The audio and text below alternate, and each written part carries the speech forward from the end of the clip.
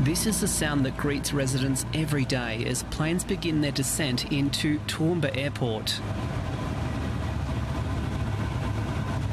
Due to aircraft movement, often the noise level can reach 120 decibels, which cannot be prevented.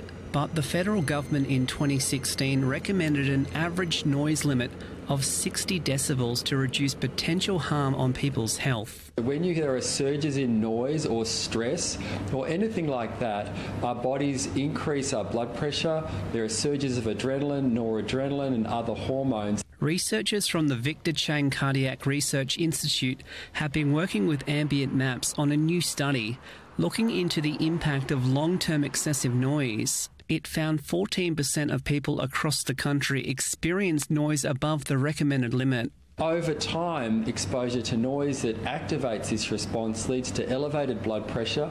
It can disturb sleep, it can cause weight gain, and all of those factors drive cardiovascular risks. So we built a 3D, uh, 3D computer model of Australia and we use that to calculate the transport noise levels for every property. They used those inputs to calculate the noise level and found the worst places to live with loud noise from traffic was along the New England Highway at the corner of James Street in Toowoomba.